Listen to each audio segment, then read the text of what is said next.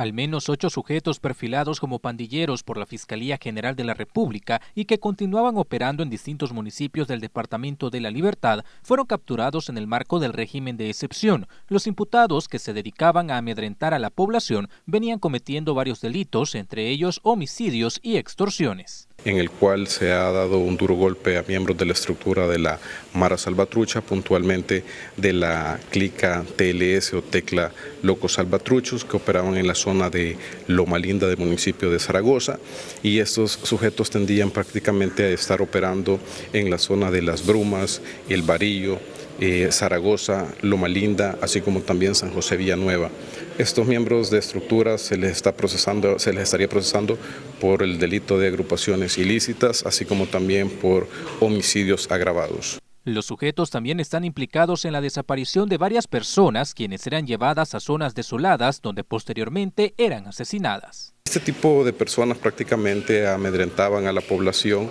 haciendo cierto tipo de delitos u acciones ilícitas como eran, por ejemplo, extorsiones, homicidios agravados, hacían desapariciones de personas también en cementerios clandestinos para que se obstaculizara el paradero de estas personas y así poder ocultar lo que eran los delitos que ellos cometían. Entre los capturados se encuentran Héctor Vladimir Carpio, René Giovanni Guzmán, José Daniel Rivera y Julio Antonio Tobar, quienes serán remitidos a un juzgado especializado para que enfrenten el proceso penal respectivo. Fernando Morales, Noticiero Hechos.